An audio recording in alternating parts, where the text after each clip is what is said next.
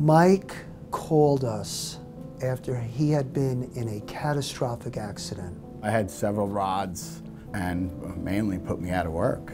What was especially sad for Michael, the other driver, as do many drivers on the road, was carrying the minimum insurance coverage.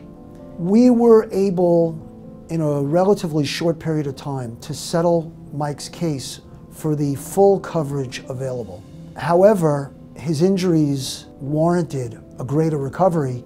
There were just no assets there. When you do insurance, it's liability when you hurt somebody else, but when you get hurt, it doesn't cover you. In this case, he hurt me, so I sued him. He had 25,000 insurance. He had minimal insurance. My surgeries were well into the six figures right out of the gate, and that was the beginning. And they went on for years. I mean, my last one was two years ago. It's nine years.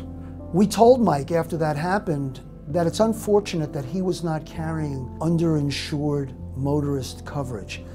The day we told Mike about it, he went out and bought the maximum amount that he could for his own protection. So as soon as he told me, I went right right to my policy and I upped my policy, which can be as much as your liability, which mine was seven figures.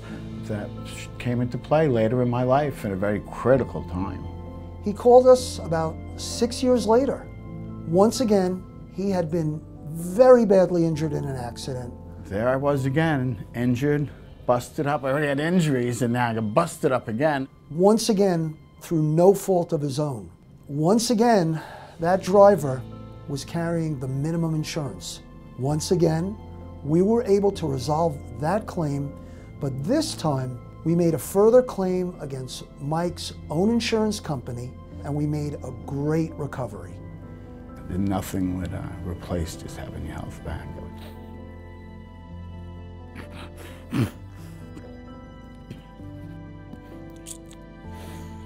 Thank God I had Friedman Simon.